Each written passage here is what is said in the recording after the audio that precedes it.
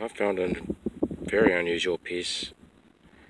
It was sitting like that, and on the bottom was a sparkling part. It's very rare when the sparkling part is on the bottom.